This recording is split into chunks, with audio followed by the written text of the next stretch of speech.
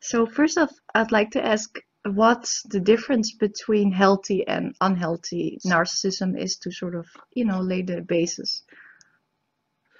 Well, both have been described first by Sigmund Freud in 1915 in his essay on narcissism.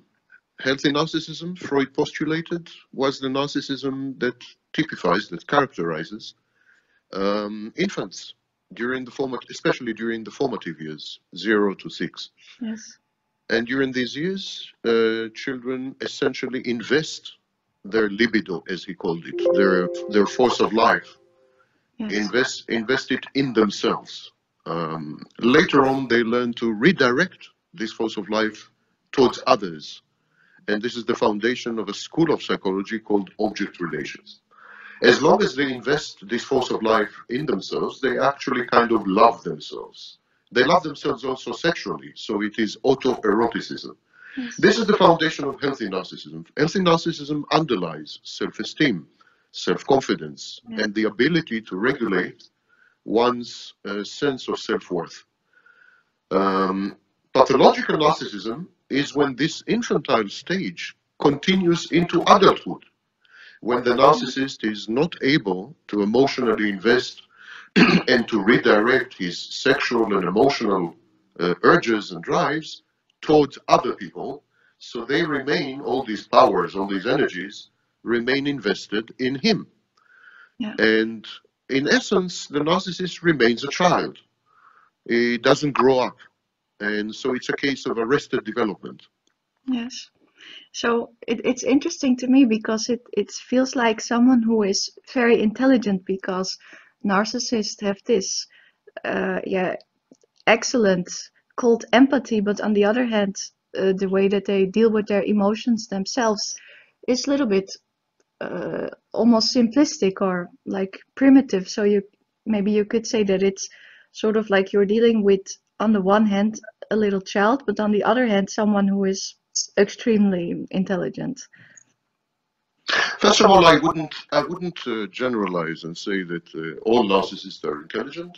Uh, the prevalence of narcissism officially is 1% of the general population, and we did not find any correlation between pathological narcissism and its extreme manifestations, such as narcissistic personality disorder, or malignant or psychopathic narcissism.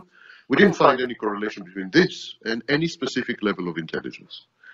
Today, we think that narcissism is becoming more and more prevalent, and studies by Twenge, Campbell, and other academics have shown that narcissism is spreading much faster among younger populations. And in these populations, it's likely that about 3 to 5% of uh, all the, all the uh, people between ages 15 and 25 actually have pathological narcissism. So it would be wrong, I think, to generalize about any trait uh, or behavior specifically attached to narcissism. That's one thing. Second thing, there is a difference, again described first by Sigmund Freud, there's no way of avoiding this guy. There is a difference between um, what we call, between self-awareness and insight. Self-awareness is merely cognitive.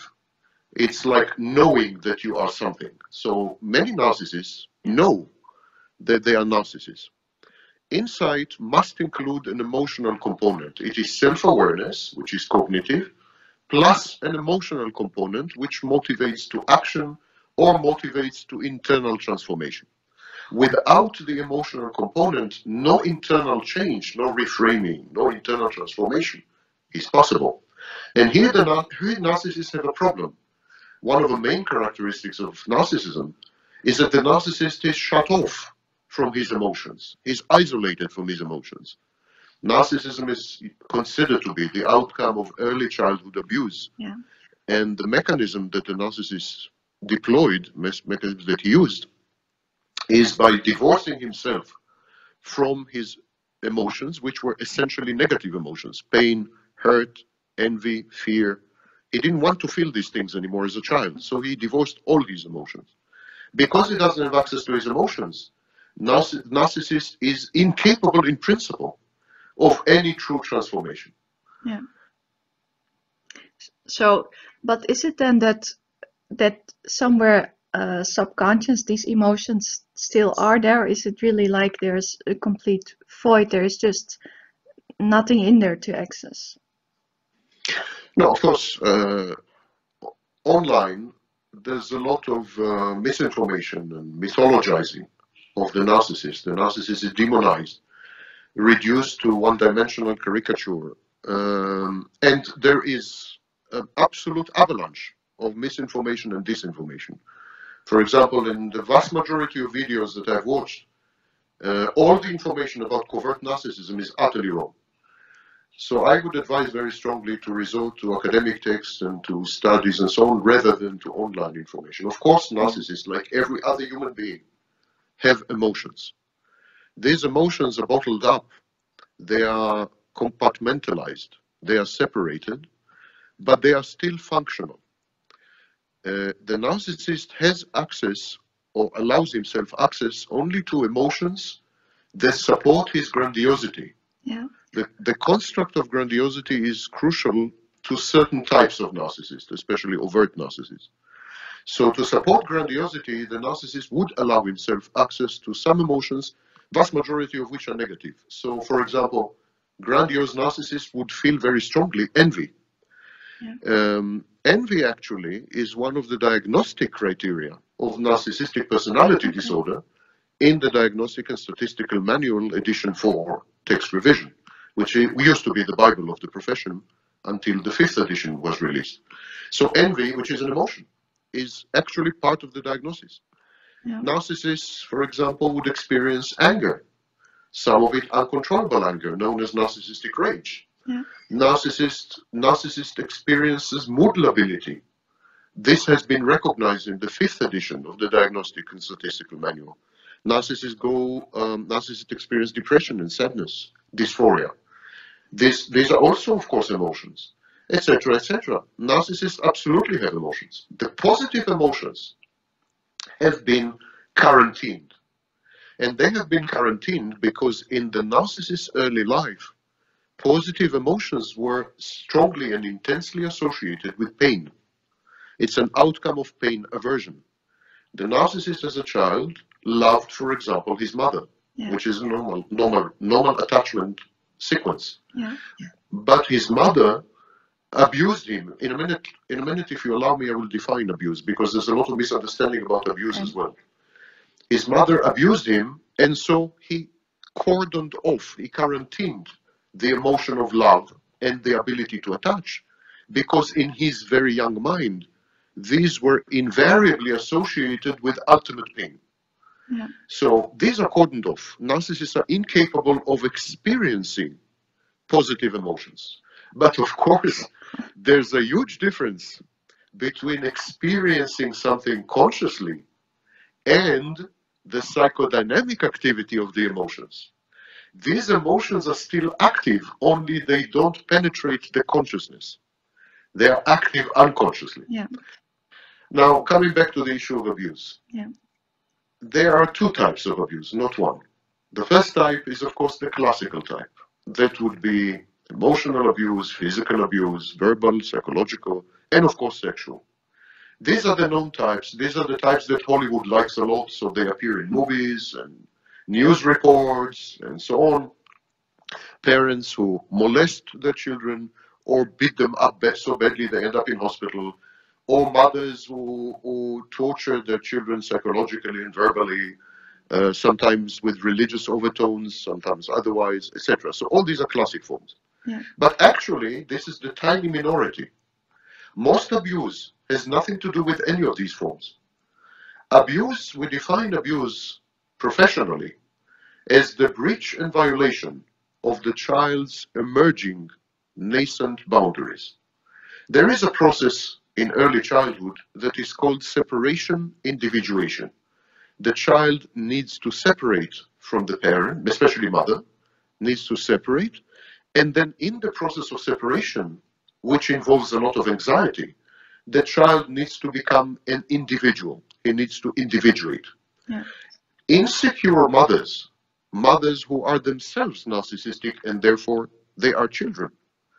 Insecure mothers, narcissistic mothers, of course, psychopathic mothers, borderline mothers, mothers with mood disorders like bipolar, mothers with depression, they would find it extremely difficult to let go of the child. They would not allow the child to separate or to individuate. And they do this by emotionally blackmailing the child or by instituting an air of incest, emotional incest. Or What is emotional incest? emotional incest means uh, treating the child as though the child were an adult in a romantic relationship. So a lot of sexual innuendos, a lot of uh, inappropriate language, involving the child in the relationship with, with the spouse, um, triangulating, etc., etc. This is emotion incest. It And- reminds me of, okay, they go on. Yeah. Uh, remember what you want to say. Just let me finish the, the idea. And and of course the the most most uh, uh, virulent form, most pernicious form, is using the child as an extension of the parent. For example, uh, considering the child as a tool or an instrument to realize the parent's unfulfilled wishes, dreams, and fantasies. Yeah. A frustrated parent, a frustrated parent, would put the child on a pedestal would spoil the child, would pamper the child, would love the child on condition that the child performs, on condition that the child compensates the parent by relieving or ameliorating the parent's frustration with her own life. So these are all forms of abuse. Yeah. I'm sorry, you wanted to ask something and I had to. No, it's no problem. No, I, I was thinking to myself, could it be that if you make it fairly simplistic, if you make it simple, that abuse is for the most part just that you see, for example, in, in this case, then a child or a person not as an individual. It's just that you see someone as not a person, but more so an, an object of yourself. Yes, as I said, if you treat the patient, patient, uh, the child as an extension of yourself, if you don't allow the child to become an individual, if you don't allow the child to separate, to become a separate entity, Yeah. And um, And how is it about, for example, uh, mothers, then say mothers as an example, who use their children more so as sort of their own parent? So the, the, the mother who goes for advice to uh, to a young child. How how would you see that? it's it's uh, literally the same. It's called parentifying. When the child is parentified, the parent, the mother, assumes the role of a child, and in her mind, a child is an inseparable part of the parent. So when she parentifies her own child, she merges with the child, she fuses with the child, they become one organism. So there are several ways to become one. It's all about pathological merger and fusion, which are, by the way, the main mechanisms in codependency. Yeah. So the, the mother merges with the child either by considering the child to be an extension of herself Yes. or by becoming an extension of the child when she herself becomes the child. Either way, uh, they end up being one organism and the child is unable to become a person. And also a thing that I found uh, like really mind blowing is is I saw a video of you how you explained that sort of uh, the the the false self or like say the ego that that self is sort of for most people it is internally arranged as a skeleton you said but for a narcissist it it goes uh, external it's like an external skeleton so could you then say that uh, in a sense, narcissists regulate their false self sort of manual, like not automatic, but uh, completely manual, external. Um, all children go through a phase of uh, grandiose narcissism. Uh, they feel omnipotent, all powerful, they feel omniscient or knowing and so on and so forth. But this disappears very fast. Yeah. What happens with the narcissist?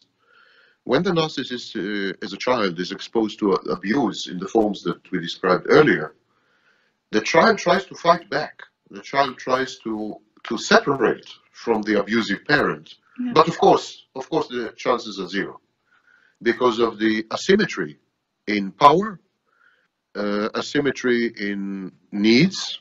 The child needs the parent, etc., etc. The child usually fails to separate. What the child then does the child suspends herself.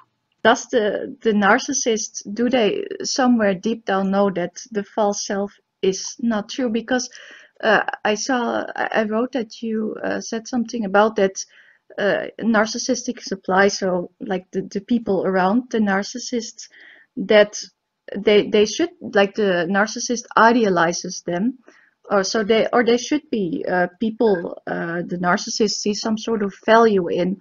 And is that then so that because if that sort of narcissistic supply praises them or tells them that they're great that then it's sort of believable for themselves. And by that that they then maybe themselves believe more that their sort of uh, religion is actually true all narcissists uh, realize deep inside that the false self is false. it is because of this they, they need constant validation from other people to tell them that the false self is actually not false, that it's real. So, for example, if the false self is all knowing, if it's a genius, the narcissist would go to other people and would solicit from them would force them, would coerce them, would beg them, would cajole them, would manipulate them to tell him, listen, it's true that you're a genius. It's not false. It's not a fantasy. It's not fiction. That your false self is actually true, is actually real. And of course, it's not enough that one person tells you that. You need to build a consensus of everyone around you. Because imagine if you have 100 people in your life, 80 people tell you that you're a genius, but 20 people tell you that you're stupid. Of course, that's not good enough. You need all 100 people to tell you that you're a genius so that you can believe in the real self. Because if you don't believe in the real self, if you think it is not real, if you realize as an adult that it is an invention, a concoction, a, a movie script, then it will not be able to work for you. It, you and because you have nothing else except the false self, if the false self disappears, you disappear. Indeed, when the narcissist cannot obtain validation from the environment that his false self is real, he feels that he disappears. He feels like he's vanishing. It is existential threat. It's like in death, yeah. So narcissists go to other people and use every tool possible to force them to confirm that the false self is real. And this process is called narcissistic supply. And here's the, here's the uh, problem. In order for me to, uh, in order for the narcissist to accept the opinion of other people that his false self is real, he needs to idealize these people. He needs to value them. Let me give an example. If the narcissist wants someone to tell him that he's a genius, and that other person is stupid, then of course the opinion of a stupid person is not credible, is, is, is without value, has no value.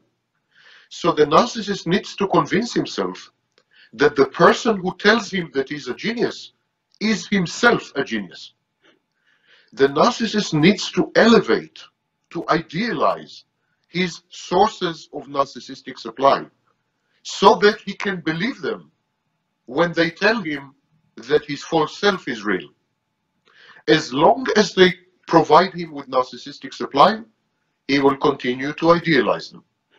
The minute they refuse to continue to play the game, the minute, for example, they criticize him, the minute they disagree with him, or the minute they become bored with a narcissist, because the narcissist drains their energy. That minute, he they can no longer serve serve as reliable sources of supply, and the narcissist switches from idealization to devaluation. So, for example, if a source of supply was telling the narcissist for 10 years, you're genius, you're genius, you're genius, you're genius. During this period, the narcissist would idealize this source of supply. He would tell himself this woman knows what she's talking about because she herself is a genius. So if she is a genius and she tells me I'm a genius, then it's credible, it's realistic, it's okay, I can believe it. But then that woman for example, has an argument with the narcissist, disagrees with him. So the minute the source of supply disagrees with the narcissist or criticizes the narcissist or brings to the narcissist attention information that conflicts with the narcissist's grandiose self-perception and fantasy, the narcissist regards the source of supply as a threat, uh, as, a, as a source of devaluation, and then via a process called projection, he devalues the source of supply. He says, well, actually, she is not a genius. She must, she's a very stupid woman. I, uh, whatever she says, I can ignore, and so on and so forth. So narcissists swing between idealization and devaluation of the very same people very frequently in the space of a few days. But how do they cope with this contradiction? How do they sell that to themselves? Well, they, they, one of the main uh, coping mechanisms of narcissists is dissociation. Narcissists have no continuity of time and they have huge memories, uh, gap, um, uh, gaps in memory. Actually, that's one of the reasons I suggested that narcissism uh, is actually an identity problem, which today is accepted in the Diagnostic and Statistical Manual edition 5, which was published in 2013. There, in the alternative model of narcissism, they propose that narcissism is actually an identity disturbance. If you want, I can tell you about my work uh, because it's a bit uh, pioneering, a bit. Um, I've been working in the field for 20, uh, almost 25 years, and um, a lot of the developments in this field started with my work in 1995. But until recently, until five or six years ago, I was working within the framework of the DSM. I regarded narcissism as a personality disorder. But then I began to notice some strange things which um, have nothing to do with personality. For instance, the narcissist's extensive use of dissociation, of forgetting, of deleting events. The narcissist's discontinuity. Narcissists live a broken life. It's like the someone shattered their lives, like a vase of glass, and someone shattered it, and they experience each piece, each shard is totally distinct and separate from the previous and the next uh, phase, etc., etc. And that reminded me very much of post-traumatic conditions. This is very typical of people who had experienced prolonged trauma, or what we call complex PTSD. And so what I'm doing in the last six years, I'm reframing pathological narcissism not as a personality disorder at all. I'm actually claiming that the narcissist personality is healthy, but that the narcissist, narcissism is a post-traumatic condition and can be treated with therapies invented in order to treat PTSD. This is one thing. And one of the things that people in after trauma develop is addiction. Addictions are very common after trauma. People become addicted to drugs, they, they become alcoholics, they become sex addicts, they develop reckless behaviors like pathological gambling and shopaholism, etc. And so I said, the addiction to narcissistic supply, the addiction to, to attention, adulation, admiration, affirmation, all this addiction is actually a post-traumatic artifact. So I'm recasting narcissism as a post-traumatic condition with attachment disorder, addictive elements, and um, infantilization. I think one of the mistakes in classic therapy is that when a narcissist comes for therapy, he is treated as an adult. The therapist interacts with the narcissist as he is interacting with all other adult patients. But narcissists are not adults. They are children with arrested development. They are traumatized children. And that's, so I developed a new treatment modality. Uh, I dubbed it cold therapy, which I'm now teaching to many therapists around the world. I just returned from Brazil, um, and I'm teaching it all over the world. How does that it, work? I'm sorry? How does that work? What are the basics of cold therapy? Well, assuming that narcissism is indeed a post-traumatic condition, assuming that the narcissist is simply a traumatized child who reacts with addiction, uh, what the therapy does, it re-traumatizes the narcissist so that he can experience the trauma and emerge from it without any meaningful consequences, so that he learns that he actually does not need his narcissism anymore. to cope. And we have a principle in psychology called mental economy. And that principle is if something is not needed in psychology, it dies, it disappears. Any behaviors, any traits, any uh, repetition compulsions, any anything in psychology that no longer has a role or a function disappears automatically and spontaneously. What, we, what cold therapy does, it takes the patient, puts him through trauma, and shows him that he can cope very effectively with trauma without narcissism. Yeah, that's that's really mind blowing actually, because before you always heard that uh, narcissism isn't treatable, but maybe that is because they saw it as a personality disorder. And they were interacting with narcissists as an adult. Actually, the person who popularized the view that narcissism is not treatable was me. In 1995, I had the first and only website about pathological narcissism for 10 years, until 2004 actually, sorry. So between 1995 2004, when you were still a child, I suspect, the only website about narcissism was my website. The only support group for narcissistic victims was mine and all the language I had to invent. So I invented the, the phrase narcissistic abuse. I invented somatic narcissism, cerebral narcissism, no contact, hoovering, ghosting. I mean, flying monkeys. I mean, everything you hear, I invented in 95. And one of the things that I uh, suggested in 1995 is that narcissism is not curable. Of course, I was not the first to suggest it, but I was the first to popularize it online. So I'm very guilty for this. And cold therapy is my repentance, almost religious repentance, my attempt to rectify this um, this conception. It's not a misconception. Using existing treatment modalities, narcissistic personality disorder is not treatable. Some behaviors can be modified, but that's it. The rest is untouchable. Yeah, I saw you say in another interview that that indeed that it's modified, but not to completely be uh, that you cannot completely get rid of it you know like erase it. Yes. and i found it actually fairly uh, liberating like a very liberating thought that because it's also some sort of exception within that but of course you can modify your behavior to some sense. I think that uh, that is better than sort of always running after trying to fix something and well you can modify behaviors of course. For example if you work with a narcissist grandiosity if you don't confront it but if you tell him, for example, I'll give you an example how you can modify behavior. You can tell the narcissist, listen, this behavior is not efficient.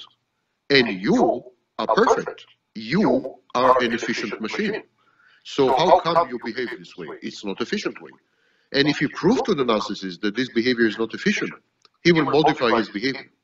So of course, many antisocial behaviors, many abusive behaviors, many abrasive behaviors are truly inefficient they have unfavorable outcomes.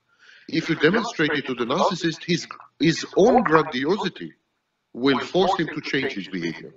And that's an example of a process called co-optation, where we actually don't fight pathological narcissism, but we leverage it, we use it. Yeah. But it's extremely limited, extremely limited what we can do with traditional therapies because they regard the narcissist as an adult and they ignore completely utterly the post-traumatic aspects of narcissism. And this is where cold therapy comes in. And I think it can help with narcissism sub substantially. Not only modify behaviors, but eliminate yeah, uh, narcissism altogether. And what I was thinking, uh, how how does it work, for example, with narcissists who are very successful, for example, in business, they're very successful, but uh, maybe they are like divorced multiple times then of course they have the proof that they are, you know, per, sort of perfect in their business. So they can just say, oh, the, the reason that my, for example, my marriage marriages failed, that is because of them, you know, these women, they're, they're in the wrong. Because obviously I have the proof that I'm a successful person. So uh, would it then be harder to get a successful narcissist to, uh, yeah, go into therapy? Not harder, possible. Uh, yeah narcissists need to hit rock bottom in all areas of their life. They need to lose absolutely everything for them to even contemplate that something may be wrong with them. Of course, they contemplate it and immediately reject it, but at least they contemplate it, and then they are more amenable to therapy, but only when they are utterly devastated, destroyed, and demolished, scorched earth. But you touched on something very interesting, and if I may, I will elaborate on Yes, it. of course. Narcissism is a contradiction because the narcissist, on the one hand, believes himself to be godlike. And of course, God is an utterly independent entity. It's an entity that does not depend on anything and anyone for anything. And yet, the narcissist is 100% dependent on other people. Actually, the most extreme form of dependence is narcissism. Because without input and feedback from the environment, which is sustain, which sustains the false self, the narcissist disintegrates. His dependence on other is existential. The whole inner maintenance, inner maintenance of his inner landscape and constructs crucially depends on uninterrupted flow of information and validation from other people. So he's totally dependent on other people. So how, how can these two sit together? How can you reconcile being a god with being abjectly submissive, codependent, dependent person? So this is an inner contradiction, and this is why narcissists pendulate. This is why they are they are perceived sometimes as unpredictable. They have rage attacks that are disproportionate and triggered by the most insane things, because these are not external processes; these are internal processes. As the narcissist seeks narcissistic supply, the more he seeks the supply, the more humiliated he feels. The more he's, the more he is in need of supply, the more he feels that he is getting negative supply. So the narcissist can never be happy. He is, um, he is uh, all the time in search of a drug, but refusing to admit that he's a junkie. So it's very, this conflict, so one of the defense mechanisms of narcissism is what we call alloplastic defenses. It's the tendency to blame the world, other people, your boss, your wife, uh, your neighbors, uh, society who doesn't, which do, doesn't appreciate your your contributions, uh, the government, or in extreme cases, uh, the narcissist develops paranoia. So he believes that he is at the center of some conspiracy, etc., etc. So all responsibility, accountability, blame, and guilt are shifted, projected technically, onto the outside. This is called alloplastic defense. So if the narcissist divorces repeatedly, simply he has found the wrong women. It's not his fault. It's just he tends to attract the wrong women. And um, but again, this creates against this creates a contradiction, because wait a minute, if you're God, then you're in total control. Yeah. But if you have alloplastic defenses and everyone else is responsible for what's happening to you, then you have zero control. And this is called external locus of control. So narcissists have, have two basic contradictions. One, the contradiction between being totally independent God and being totally dependent junkie, junkie addicted to narcissistic supply. And the second contradiction, blaming others for your condition while also claiming that you are superior and don't need anyone. So either your life is controlled, I mean, it's a contradiction. If you say that other people are responsible for what's happening to you, then you're not in control. But if you're not in control, you're not God. But for example, what I also find very hard to understand, like with narcissists, uh, they often they really do not admit to uh, to being guilty for something, but how how can you sort of um, deny cause and effect? Like I have experienced uh, with someone, uh, something happened, like an an um, situation occurred, and we both saw it, and a third person but afterwards he uh, he said that it didn't happen even though we all saw it with our own eyes and, and how how can you play that to yourself that you completely deny reality and, and cause and effect I would be very careful going around diagnosing people as narcissists. narcissistic, yeah. Narcissistic personality disorder is a clinical entity which requires a lot of expertise in diagnosing. Even the vast majority of diagnosticians are not qualified to diagnose narcissistic personality disorder. And unfortunately, everyone online goes around diagnosing everyone around them as narcissists.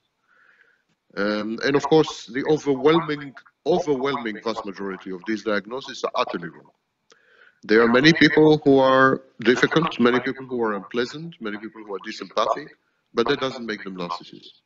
No. However, assuming the person is a narcissist in the clinical sense, not in the not in the toxic environment of online discourse, because online narcissism has become a buzzword, a meme, and has absolutely nothing to do with psychology or or clinical psychology. Uh, limiting ourselves to the clinical entity, some narcissists, a minority, would tend to uh, develop delusions, and some of these delusions would be of psychotic nature. So they would tend to deny reality, reframe it, ignore information that confront, contra contradicts or conflicts with their grandiose self-perception or self-image, or grandiose fantasies, etc., etc. It's a hard task, a hard assignment to defend all the time a construct, a piece of fiction, a story, a narrative that is so insane and outlandish like the false self. The false self is so ridiculous. Actually, narcissists are pathetic and they are caricatures. They're clowns. And, and I mean, even someone like Donald Trump, who is the president of the United States, is a clown. He is a very big clown, but he's a clown.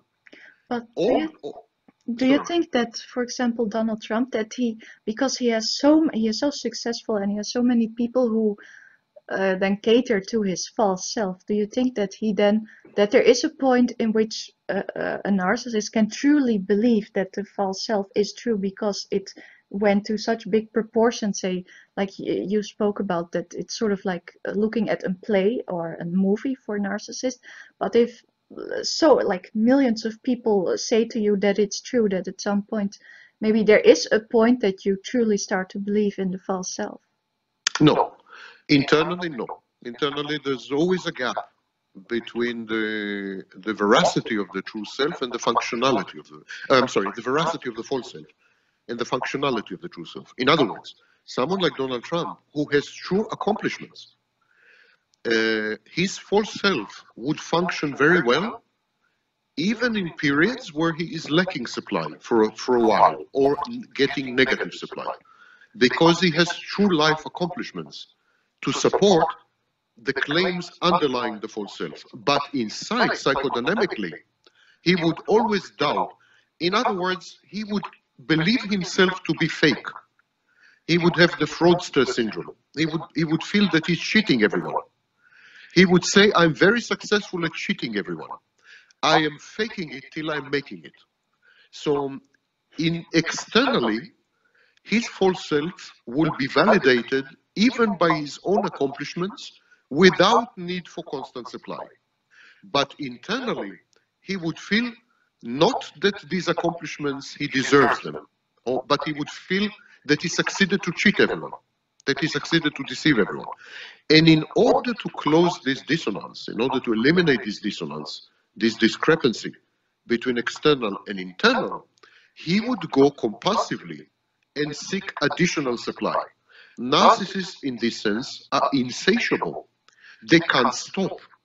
Never mind how many accolades, how many kudos, how many accomplishments, how many achievements, how many books you have written, how many times you lectured, how many times you were told that you are genius or handsome or whatever, you will always go for more.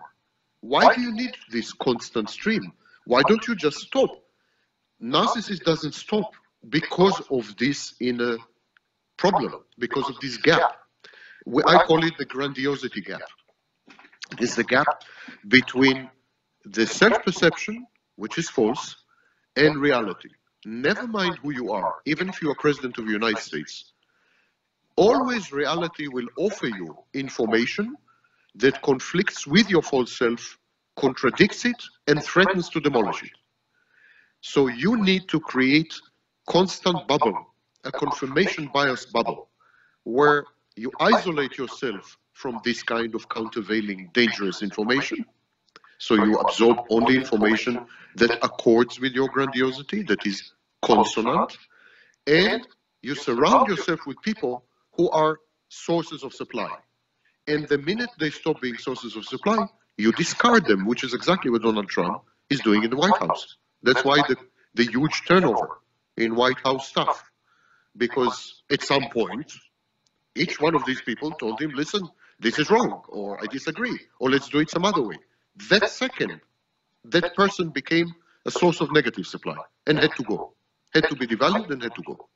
So the answer to your question is narcissists are insatiable. It's like asking a normal person, you drank so much water in your life, why don't you stop drinking?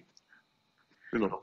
I can imagine um, if you if there's just no way that you will ever truly believe in the false self that the people who who praise you even though if you idealize them that uh, on the other hand you also feel this sort of disdain for them because you think ah you know they're dumb because i can True. really uh, you know i don't know the english word but manipulate them in believing in a lie so they're not that intelligent Yes, true. That's what I just said. The feeling, the inner feeling of a successful narcissist is that he pulled it off. He succeeded to cheat everyone. Everyone is so stupid that he succeeded to cheat all of them.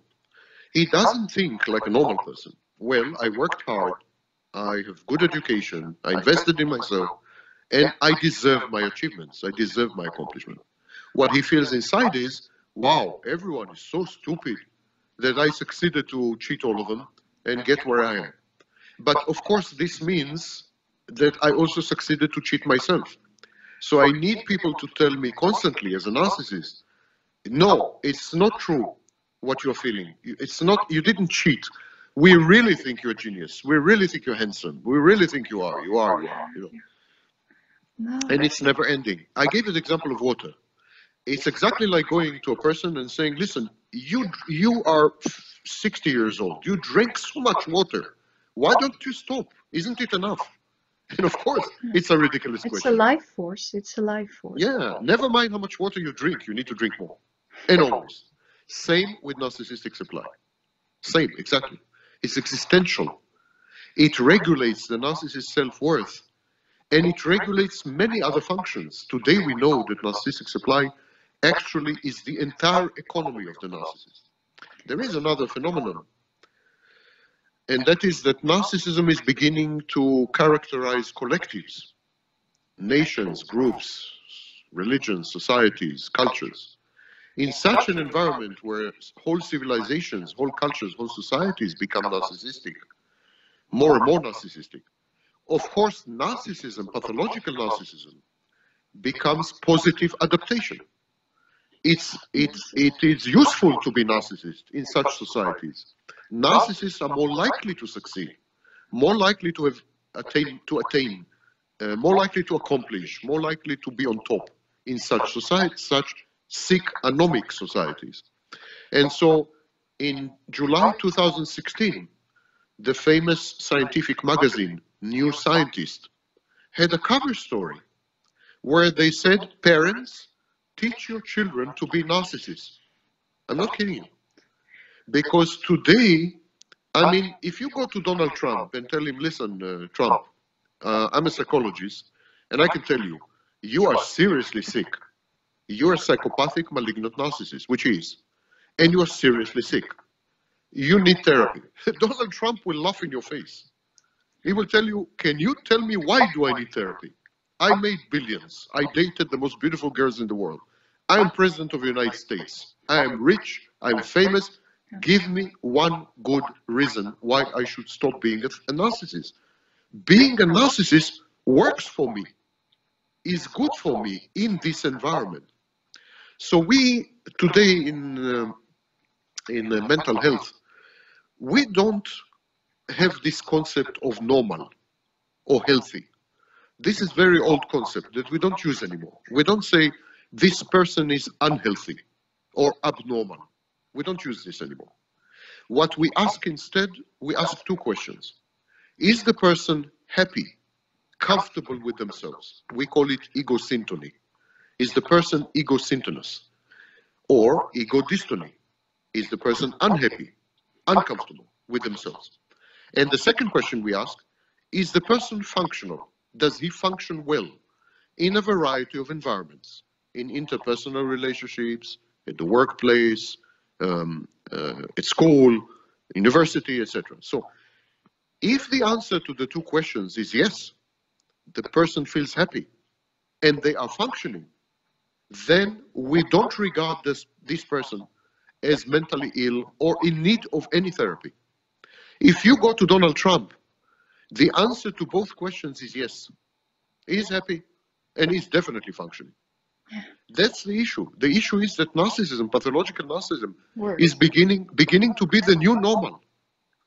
It's beginning to be actually positive. And you have academics, you have scholars like Kevin Dutton, like Maccoby, like others, who are saying that it's good to have narcissism, that it's good to be psychopath, that in today's society, narcissists and psychopaths are high functioning.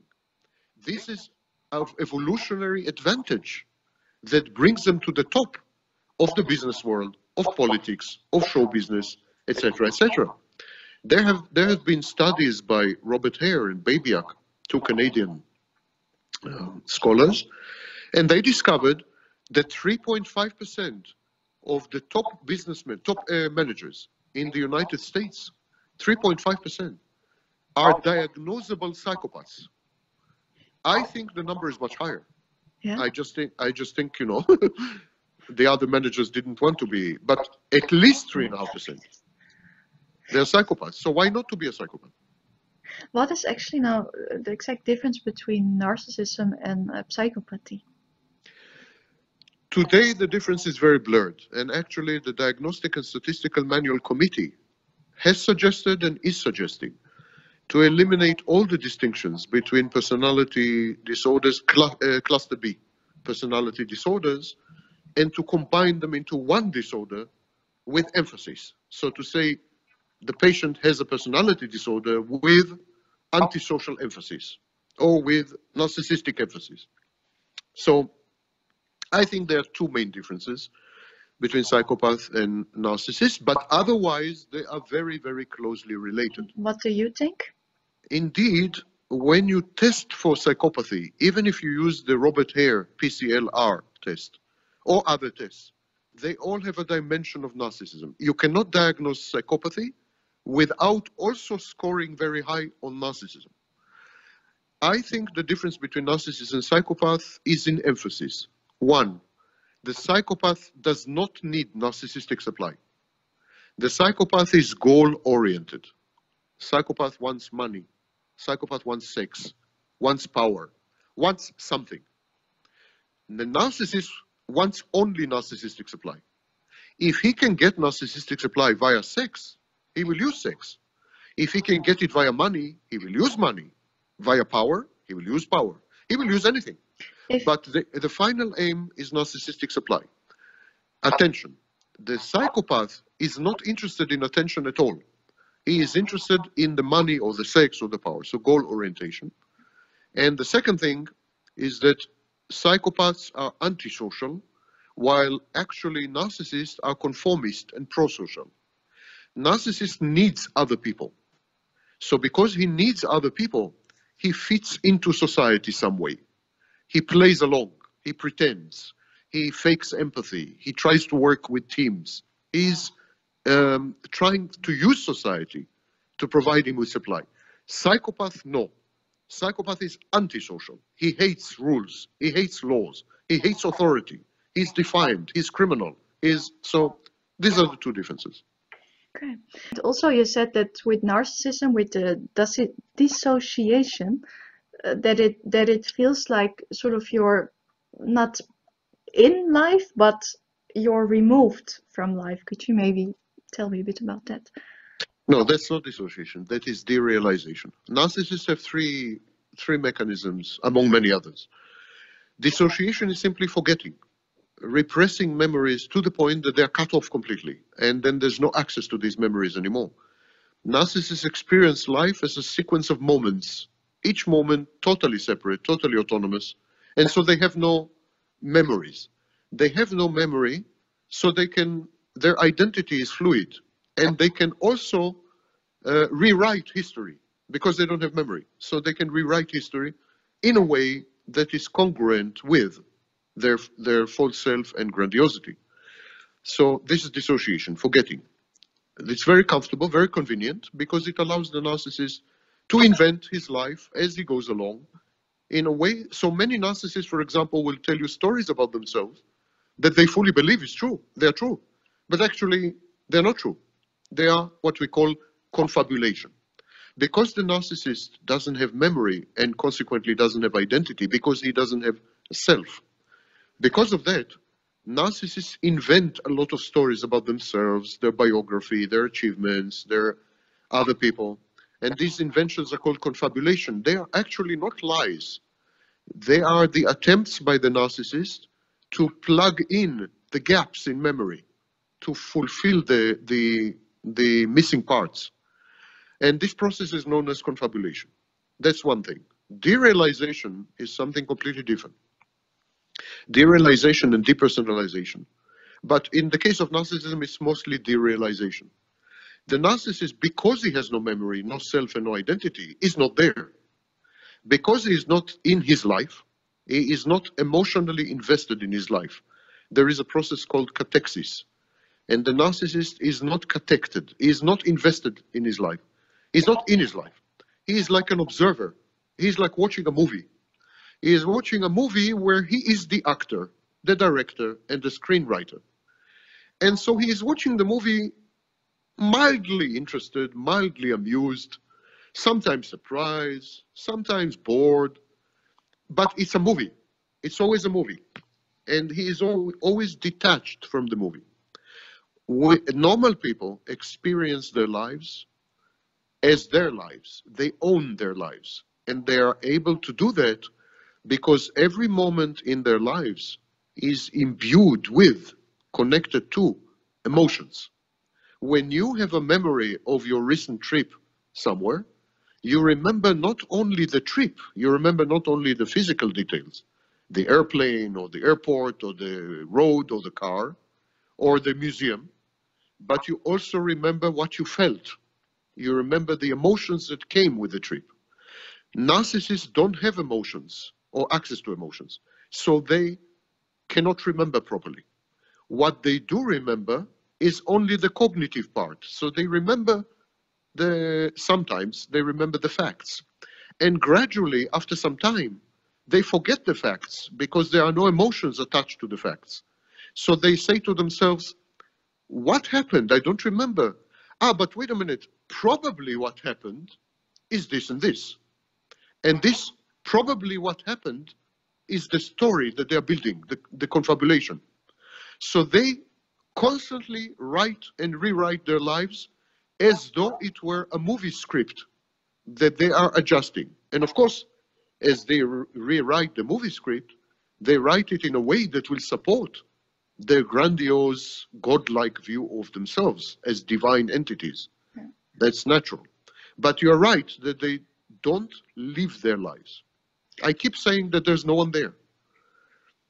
Well, I, I can imagine then if you do not what you said like that you do not have the emotion say with with the memory but just the, the plain facts of course you forget it then that's so of course you can't even say it it's a lie really True, it's not a lie. I said, as I said a few minutes ago, it's not a lie. It's a confabulation. There's a huge difference between lie and confabulation. Lie is, is usually goal oriented, some goal, whatever the goal is. Confabulation is not goal-oriented. Confabulation is a panic reaction. It's when you realize that some part of your memory is missing and you say to yourself, what happened to me? I don't remember this. But probably what happened is this. And then you adopt it because not to feel bad, not to feel dissonant about the fact that you don't have a memory. Uh, the narcissist remembers his life as you remember facts before an examination. You memorize it's called in America cramming. You memorize a lot of facts before you have an examination at the university, yes? Yeah. But 48 hours after the exam, it's a fact, by the way, 48 hours after the exam, you forget 50% of the facts. And one week after the exam, you forget 91, 91% of the facts. This is a fact, by the way. So Yeah. we forget about 90% of facts that we learn for examination. Why? Because these facts don't come with any emotions. They're just facts. Narcissists is the same with their lives. They memorize this life like it's an exam. And so after a week, they forget 91% of what happened because there was no emotional content attached to these facts. So they forget. But it's one thing to forget an examination and another thing to forget your life. When you forget your life, it's very frightening. So there's a panic. And the narcissist says, What the hell happened? I don't remember anything. Wow. In, I mean, unconsciously. And then the narcissist says, Well, knowing myself, knowing the situation, knowing the circumstances, knowing the other people, knowing all this, I think what happened must have been this. And then they adopt it as though it really happened. Is is that also the reason, like one of the reasons why it is important for uh, for narcissists that the people around them are fairly predictable? Uh, what do you mean by predictable? Now that they can, uh, like that they can sort of know if I push that and that button, then that person reacts like this. So not only to sort of manipulate a person, but also so that you have something to to grab on to to remember because you know how the person will react in this and that situation. Well, narcissists actually don't regard you, don't regard other people as persons. They regard other people as extensions of themselves. They regard other people as artifacts. They internalize people, so they regard people as avatars or representations or cartoon characters. They don't have concept of other because they don't have empathy. In the absence of empathy, or they don't have um, emotional empathy. They have something which I dubbed cold empathy. They have cognitive empathy only. They realize that you exist. That is cognitive. But because they don't have emotions, they don't know how it means to be you. They don't relate to you as three-dimensional uh, Uh, entity. So in any case, they would assume that you're predictable because you are, you know, not real. They derealize you as well, not only themselves. they regard everything and everyone as a, as a part of the movie. So there is a script. What they do try to do, in this you are right, they are trying to impose their script on you. So they create the equivalent of a cult. They create like a cult where there are strict rules. There is a script that you must follow. And we call this situation shared psychotic disorder. They create a shared psychotic environment where you must function according to prescribed rules, prescribed evolution of a story or a narrative, etc., etc. And if you deviate from this, they become very angry and rageful, and then they devalue you and discard you. So anyhow, they force you to behave in predictable ways, even if you are an unpredictable person. And they do it by punishing you and by rewarding you. And this process Like is called, yes, this process is called um, intermittent reinforcement. They are hot and cold, approach avoidant, uh, uh, idealize, devalue. So they give you carrots and sticks. If you misbehave, if you deviate from the script, if you abandon the cult, if you don't provide supply, if you are not predictable, etc., etc., you will be punished by being devalued and discarded. If you if you are, if you reduce yourself, if you eliminate yourself as an autonomous entity, if you are no longer independent but totally dependent, if you actually suspend your own existence, in other words, if you don't separate, individuate, the narcissist was not allowed as a child to separate and to become an individual. The mother of the narcissist usually did not allow her child to go away, to become his own person. So the narcissist is doing the same to everyone around him. He also does not allow anyone to separate, individuate. He consumes them, he digests them. It's it's sort of reliving what already happened, only that you are then the as a narcissist, you're more the protagonist. it's you know like reliving it in a way. Yes, true. This is called technically in psychology. This is called repetition compulsion. True, it's repetition.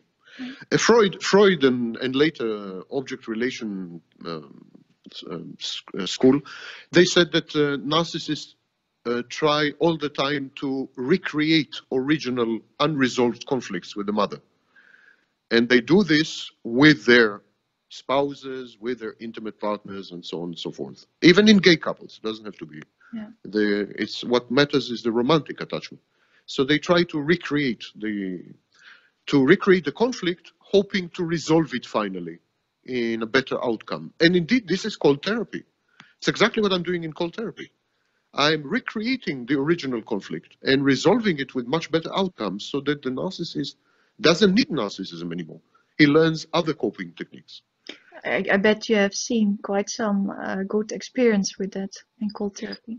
I've had very few patients, 43 until now. I'm treating patient number 44 and 45 now. And 43 in our profession is considered zero. It's very small amount. But all 43, uh, five years, the oldest patient was six years ago, and I've, I'm in touch with all of them, and I conduct follow-up uh, tests, uh, testing and so on. All 44, five years later, three years later, six years later, are showing no sign of narcissism. And when I say no sign of narcissism, I mean, I mean no sign whatsoever no need for narcissistic supply, no, uh, they they live in their life. All the all the hallmarks. Uh, they develop some kind of empathy. There, the success is more limited. Yeah, yeah, they they they do. Some kind, yeah, uh, some kind. Well, that's great that you can that it actually is possible that you can. It's limited. I, I will not pretend that it's not. It's limited, but there the success is limited. But there is there is a rudiment of empathy they don't have mood disorders. That was the big surprise of cold therapy, that it's actually extremely effective with depression. So they they are totally mood stable. There's no lability. The lability has been deleted completely over many years. It's pretty amazing. Some of these people were on antidepressants for decades. So uh, I could say there is anecdotal success with cold therapy, not systematic. The sample is too small. Yeah, but it's it seems better than any other therapy uh, you because you always hear that it's not treatable well yes vastly vastly superior to any other therapy yeah. true. Even with anecdotal evidence it uh, it is extremely impressive yes. And and, and something else that's uh, like like you told about you know that there's also this depression that narcissists have. Is that also one of the reasons why many narcissists tend to be addicted not just to narcissistic supply but also you know alcohol or drugs or uh, basically whatever or gambling?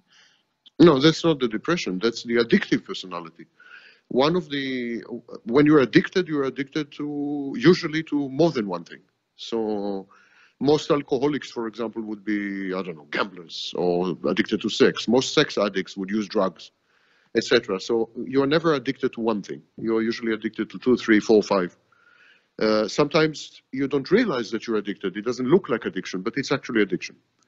So this is the addictive personality. The depression of the narcissist um, is strange because it is uh, exogenous, it's reactive it can be alleviated with narcissistic supply. So it fluctuates a lot and it looks a little like bipolar, the manic phase in bipolar. So there is a reactive component, but of course, after decades of reacting with depression to, or actually technically more precisely with uh, dysphoria, never mind, some kind of depression. After decades that you are reacting with depression to lack of supply, it becomes a feature of your personality. So gradually, over decades, uh, older narcissists become depressive as a feature of their personality. And so this is the impressive thing with cold therapy, reversing this process so that the depressive aspect of personality vanishes. But the depression has nothing to do with addiction. They don't consume drugs or alcohol to forget their depression. They do it because they are addictive. And actually, um, their addictive um, behavior exacerbates, makes depression worse in the case of narcissists only. So how, how does that come exactly? Well, because they are they have addiction, and when they cannot satisfy the addiction, in the case of narcissistic supply, they they react with extreme uh, forms of depression. So, in their case, addiction uh, increases uh, depression. Uh, also, it has different functions. Um, it's a whole theory. I don't think it's this interview is the right place. But addiction is a whole a whole science in itself. Addiction, for example, is um, um, something that provides meaning to life. The addict uses addiction as a goal. It's, it's creates goal orientation. So the addict gets up in the morning. He knows that he has to get money. Uh, this money he has to go to his pusher. Then he has to buy his fix. Then he has to use his fix. There are ceremonies and rituals connected to addiction. So there is a strong obsessive compulsive element. This is a whole theory in itself, a whole field. And of course, I'm, i deal with it a lot. I just published an academic uh, article about it. I deal with it a lot. Do you think that not only narcissism, but also other disorders could be treated with cold therapy? Only, I think, narcissism and uh, depression, uh, to my surprise, depression. I didn't realize that um, it could be useful with depression, but now I'm treating patients who are not narcissists but they have only depression, and two of them recovered fully. Um, and then I was reminded that in the 1950s and 60s and 70s, there were scholars who suggested that narcissism is actually a depressive illness.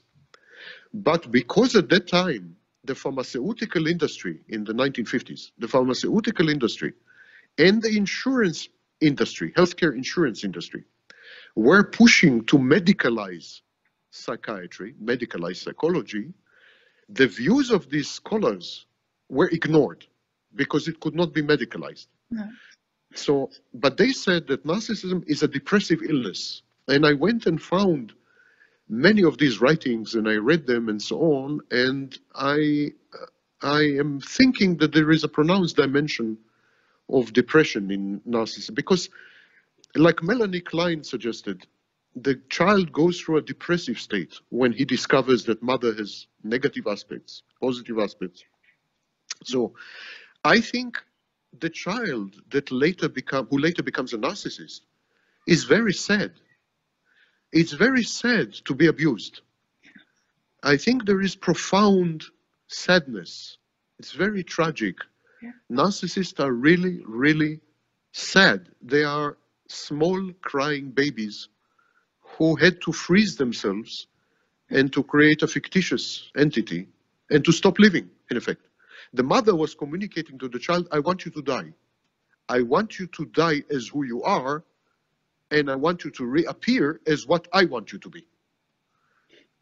So the, the mother was broadcasting to the child, I don't love you as you are. I will love you only if you change yeah really conditional i go i re-traumatize so i i actually amplify the original trauma i support the mother against the child in cold therapy but i show the narcissist that never mind how bad the situation is narcissism is an inefficient and unnecessary coping mechanism and how and then and then it, it disappears but how do the people react then to to the abuse if you relive it? Very badly. Cold therapy is very dangerous therapy. Requires suicide watch during the second module, second phase. It has three phases. It's extremely, extremely um, dangerous therapy, but it's a little like fifth generation antibiotics. Fifth generation antibiotics are utter poisons. They're totally toxic. And uh, normally, we would never give them to human beings but we ran out of antibiotics that work. So now we have fifth generation antibiotics. That's it. It's the same with narcissism. We tried cognitive behavior therapy. We tried Gestalt. We tried schema therapy. We tried EMDR. We try, I mean, you name it, we tried it. Nothing works. Nothing. We need fifth generation antibiotics. It's toxic. It's dangerous, but it works. None of my patients is dead. They're all extremely happy people. How, I'm so gratified to see this. I can imagine, but how does that work uh, when the people then, you know, they get, they react obviously then very bad and, and sad and, you know, like, like you said, they have to go on suicide watch.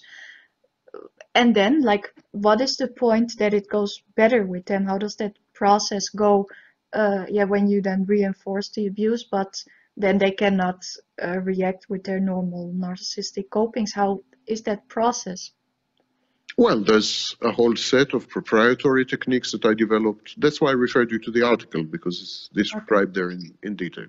But what we do essentially, what I do essentially is uh, the, I take them through this valley of death, I take them through this extreme trauma, and then they discover that they're still alive.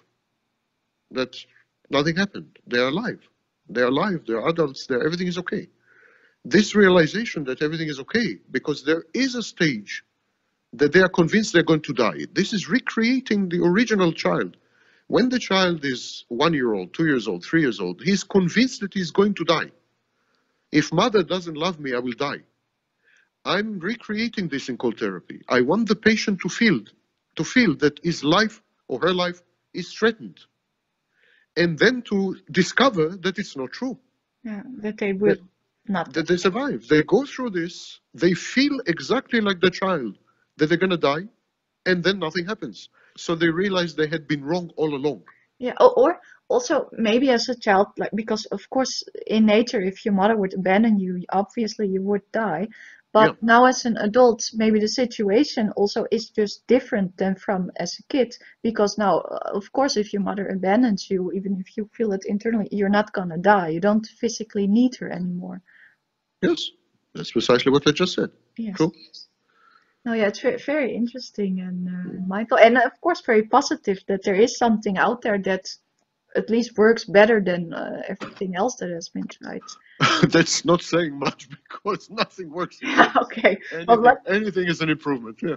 Yeah, well, it is a bit at least if you look at these people then that they are doing now better and and even that some people can feel some sort of empathy in a sense that also shows that actually the capabilities of the brain are intense if you can later on in life if you if empathy was completely shut up so young and but if you go to these therapies then maybe there's a bit of empathy left that yeah that says a lot. Well in this in the case of uh, of uh, therapy the empathy is learned. There's a module uh, part of the module that teaches empathy. Uh, as -huh. at, the at the beginning as a um, teaches empathy is at the beginning as a kind of uh, coping um, efficient coping mechanism, uh, technique. Teaching empathy is a technique. Uh, but then when the narcissist, ex-narcissist realizes that empathy makes life more pleasant, more, more efficient. Yeah. Uh, you know, you can motivate people with love or with fear. So Stalin and Hitler tried fear, didn't work very well. I mean, you can try this, you can try that. Narcissists usually adhere to the notion that the best motivation is fear. You can see Donald Trump, for example he relates to the world via fear. Yeah. So narcissists believe in that. If you teach them that love is equally, love, I mean empathy, is equally effective, or sometimes more effective, depending on the circumstances, but always equally effective as fear, always. But in some situations, more effective. In other words, it's an, always an improvement to fear.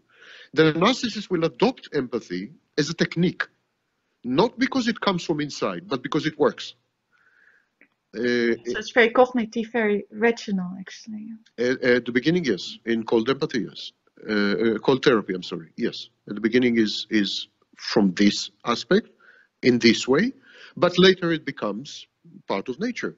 You learn empathy as a child exactly the same way. I mean, children are not empathic at the beginning when they're infants and so on. Will you learn empathy? You have empathy has three components. You have reflexive empathy. Uh, even baby Babies have reflexive empathy. When they look at mommy, mommy is smiling, they smile back. That is reflexive empathy. But then on top of it, you build cognitive empathy. And on top of cognitive empathy, you build emotional empathy. So the next stage after reflexive empathy is to say, Suzanne is uh, hurt herself, it must be painful. That is cognitive. But you still, you realize what's happening to Suzanne, but you still don't feel what's happening to Suzanne. You don't, you know, don't feel bad about it. And the third phase is to say Suzanne hurt herself. It must be very painful. Ouch. Ouch means I'm also feeling the pain. Yeah. And this is the third phase. Narcissists stop in the second level. They have reflexive empathy and cognitive empathy. They can say, Suzanne is feeling bad. So it must be painful. But the narcissist and psychopath continue in a different way. They say, Suzanne is feeling bad, it's very painful, I can use it for my purposes. So yeah. that's where that's where narcissists and, but then you learn that the that their purposes can also benefit from having empathy. So that's where how you, you can learn. You can you learn in cold empathy. You, in cold therapy, you learn that uh, you can manipulate Suzanne, either by realizing her vulnerable points and and weaknesses. That's one way, or way you can manipulate Suzanne by becoming Suzanne's friend. and liking her and being empathic with her and so on, and she will be yours. So there are many ways to manipulate people. Narcissists, flies with honey, sort of. Narcissists, yes, exactly. Narcissists believe that there's only one way to relate to people, and we teach them. So in a way, cold therapy involves the process of growing the child from child to adult. There is a, a process of growth, personal growth. It's actually, but, uh, yeah, a very productive process. Actually, you just learn to use well, how I see it, then, how I understand, you just learn, sort of learn to use the narcissism, but then to a way that isn't detrimental for other people. No, actually, narcissism is eliminated. But you, at the beginning of cold therapy, you you leverage narcissism. True, you use narcissism to teach a variety of skills, and then you get rid of the narcissism, and the skills remain more or less. But much more you can find in this article, um, much more yes, details. I will read it and I will also link it uh, under the video. What I also wanted to ask still is about actually people who willingly go into relationships with narcissists. And I'm sure uh, they fast get the hang of that, you know, it's a little bit off for them. And I wrote about trauma bonding and I was uh, interested in, yeah, well, how you would explain trauma bonding. Well, I earlier in my career I studied torture victims. I interviewed hundreds of torture victims and so on. And of course, the most potent, the strongest form of trauma bonding is in a torture process, where the torture victim bonds with the torturer. And um, the second most uh, intensive case of trauma bonding is in kidnapping. Uh, that's the famous Stockholm syndrome. Um, it seems that the source of trauma bonding is the mistaken belief that develops in the victim that only the person who took can give. Only the person who took away self-esteem, um, good feelings, uh, positive emotions, uh, only the person who humiliated, rejected, challenged, abused, only this person can restore the initial uh, state. There seems to be some infantile, primitive identification of the abuser as the source of all good and evil. Um, it, of course, involves um, highly pathological processes of idealization, parental idealization, actually. The abuser becomes a kind of parent. It also involves um, a dual process where the victim tries to internalize internalize the abuser um, to create an inner representation of the abuser. When we meet other people, we create a representation of these people, representations of these people. And we interact partly with these people and partly with the representations of these people inside us. So it's very common, for example, for us to have imaginary conversations with people uh, that we know or people that we love. That's very common, it's very healthy, there's nothing wrong with that. These uh, conversations, these inner dialogues are actually with the representations of these people because they're not with us at the moment. Um, what happens with the abuse victim because of intermittent reinforcement, because the message and the behavior are unpredictable, capricious, arbitrary, and inconsistent, there is no possibility to construct a coherent, cohesive inner representation. So the process of building an inner representation continues forever. The victim begins to construct a representation. My abuser is actually good. He loves me. He's the source of positive emotions. I love to be with him, etc. And then the abuser abuses. So the inner representation is destroyed. And now my abuser is actually bad. He's evil. He's trying to destroy me. He's my enemy. And then the abuser becomes again good, again uh, becomes hot and pleasant. And so the process of construction of inner representation is disrupted so multiply that it actually creates conditioning. The victim begins to invest herself in constructing this inner structure and actually detaches from reality. Of course, in order to construct the inner structure, because we feel very threatened when we cannot construct stable inner structures, very. And we tend to become conditioned and addicted to the process, conditioned actually. We, we tend to try to repeat it and repeat it and repeat it. And, we, and you, sometimes people can tell you, I don't understand him. I want to understand him so much, but I don't understand him. One, one day he behaves like that, one day he behaves like that. So, um, they become utterly obsessed with constructing a worldview that is consistent and, and predictable. Mm-hmm. So the abuser becomes the source, the, the indispensable source. If you live with someone and that someone is hot and cold, approaches, avoids, tortures you, loves you, you will try to construct a, an inner representation of that person, but you will fail because he is totally unpredictable and, and inconsistent. So what will happen is you, you will get addicted or conditioned to this process of constructing the inner representation, but he will be the, the indispensable, he will become indispensable because you can't go to another person to construct this inner representation. It's an inner representation of him. So the solution usually is to create two representations.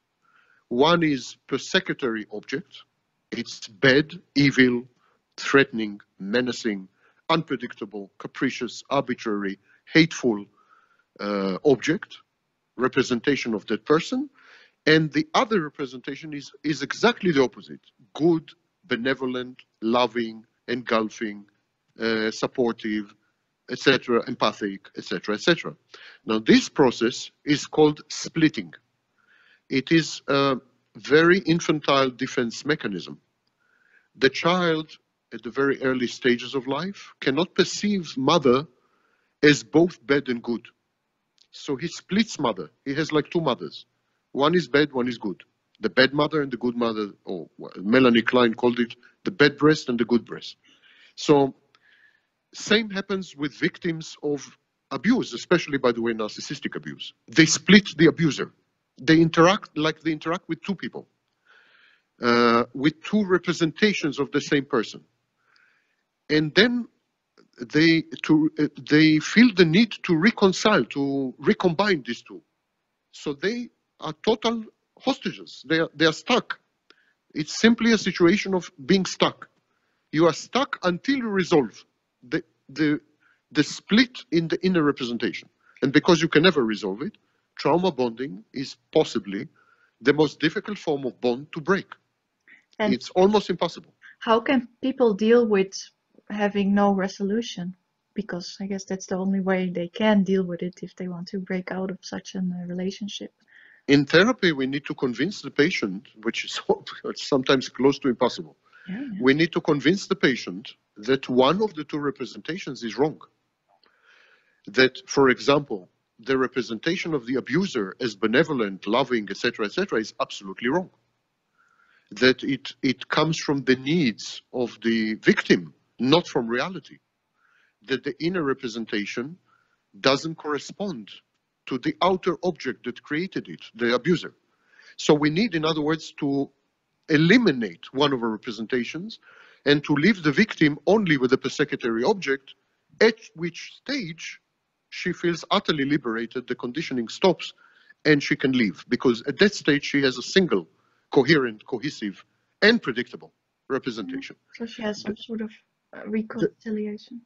The, the thing is that, no, not, not reconciliation. This is not combining the two. It's eliminating one.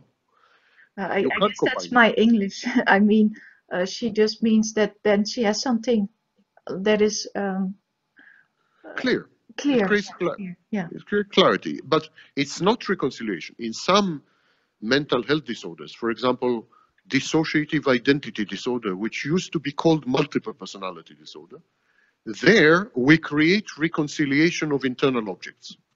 There, we take all the internal objects and we combine them, we integrate them. It's called integration. We don't do this with trauma victims, with uh, traumatic bonding victims. With trauma bonding victims, we eliminate one of the internal objects. We don't combine it with the other. Because uh, the, the object that is good, benevolent, loving, empathic, uh, supportive, etc., is fake, fictitious. It's not true. It was created because of the emotional needs of the victim, not because it's real, not because it reflects any reality. The only true realistic object is the persecutory object, which is malevolent, evil, hateful, envious, narcissistic, etc., etc. So then when she sees that the true face of her abuser She's liberated. She wakes up. It's kind of waking up. But I can't tell you how difficult this is because the victim is strongly emotionally invested in maintaining both representations. The realistic representation, the persecutory object, allows her to cope with her abuser. It's, it creates a comfort zone. It's a zone within which she knows how to operate, how to predict his behavior, how to manipulate him, etc., etc. So this, the persecutory object in a representation creates a comfort zone. The other representation of her abuser as a good person, that representation she needs in order not to collapse, simply not to collapse, not to disintegrate. So she's fighting like a typical victim fights like hell to keep both representations. Uh, typical because listen, if you eliminate the good representation, it means that you, for 20 years, for 30 years, for 10 years, you have been a victim. You've been, it's a horrible realization. It's, uh, I mean, you can, you can tell yourself, listen, he's a good person, but he beats me up from time to time. He's a good person, but he verbally abuses me. You can tell this story to yourself. But if you tell yourself he's a bad person, and I've been living with a bad person all my life, it's extremely difficult to accept. Yeah. You could better just not live with somebody who has a, a narcissistic disorder. Yeah, I invented the strategy of no contact in 1995, so which is today today the mainstream strategy. Today, this is the main strategy to cope with what, what another thing I invented, narcissistic abuse. Yeah. Yeah, you really.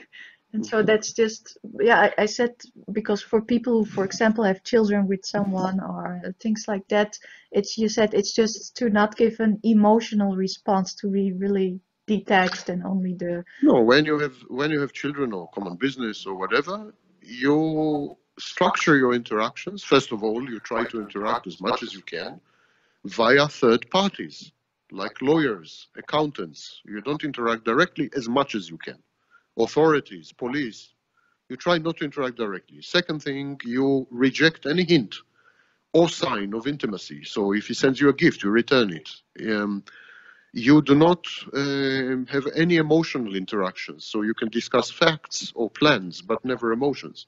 You do not have common activities. So it's a great mistake to go on common vacations. Um, and so on and so forth. I mean, you simply uh, make the relationship very objective and as far as possible indirect through other parties. Yeah. Now I know that you have uh, a patient coming soon, so I, I, see that it's almost time. So I'd really like to thank you very much for uh, yeah being thank willing you. to speak with me, and yeah I'll link also all the all the articles that you mentioned. So yes, thank you very much. Thank you very much.